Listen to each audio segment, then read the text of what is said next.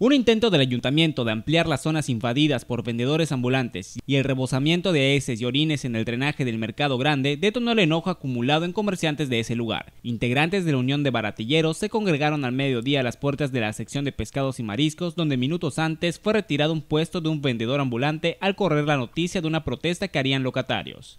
Hace 21 años convenimos con el ayuntamiento que desalojaríamos esta acera y nos iríamos al pasaje Cecilio Chi, y no permitiremos que ahora vuelva a ocuparse este espacio, manifestó Juan Aguilar, vendedor de ropa y uno de los manifestantes que se dieron cita en ese lugar. Después condujeron a los reporteros a un recorrido para mostrar las deficiencias de ese mercado, las cuales, dijeron, ahuyentan a sus clientes, reducen sus ventas y los obliga a trabajar en condiciones incómodas, antigénicas e incluso peligrosas. La información es de Hansel Vargas y las imágenes de Leslie Santos Bonilla.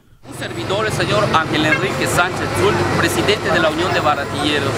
Soy representante y gestor de los compañeros de Lucas de Galvez, de San Benito y de Valle y de mercados aledaños. Pues en, esta ocasión tenemos algo indignante, algo vergonzoso que tenemos aquí en la calle 65A por 56A. Tenemos aquí un drenaje que se está rebosando con una suciedad muy terrible. Tenemos, necesitamos el desasolve de este espacio.